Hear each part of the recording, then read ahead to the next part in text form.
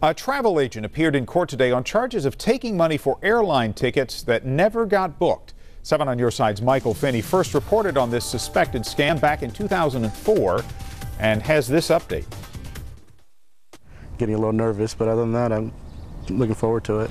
Navraj Pera of El Cerrito is talking about the wedding that he almost couldn't go to. It's disheartening. I mean, there's no other words for it. it just breaks your heart. His father paid $5,000 for four airline tickets so the family could fly to India for the wedding. He says the tickets never came.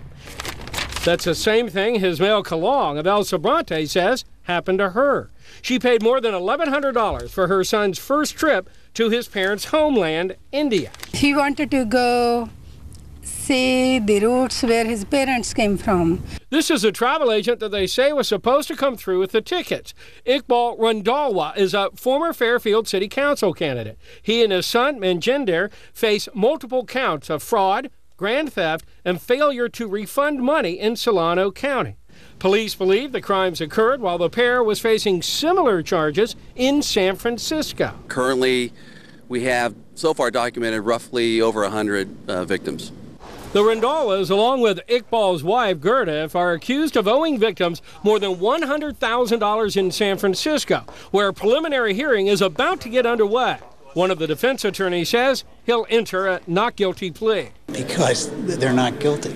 So that's always the plea you enter initially in any event.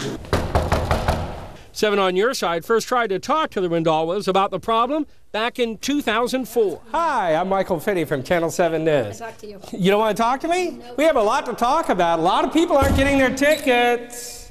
Police in San Francisco arrested them two years later, and M&K closed. Prosecutors in Solano County believe the Randhawas used their Fairfield home to resume operations late last year. It's absolutely fraud. Absolutely fraud.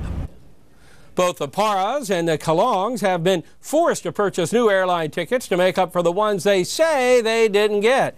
Police tell us additional charges could also be filed in Santa Clara County, where there was a travel agency as well. I'm Michael Finney, 7 on your side.